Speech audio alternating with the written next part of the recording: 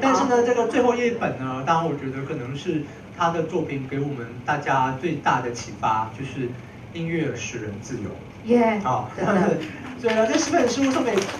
张璇，这样子，对啊，这样子。但是拍完照之后再还给我啊。对，但是呢，就是有十加一啊，这样子，就是人生中还是有非常多呃奇奇怪怪的状况跟事情，你会碰到很多。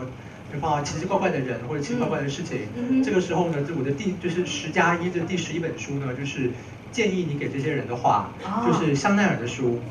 我没时间讨厌你。对，好，好，对对，所以呢，就是无论如何呢，就是希望他的这个演唱会呢，这个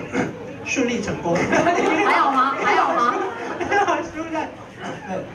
好，你可以把书这个这个呃，但是我觉得就是我这边。就是怎么说，我我还是希望啊，就是呃张悬的歌是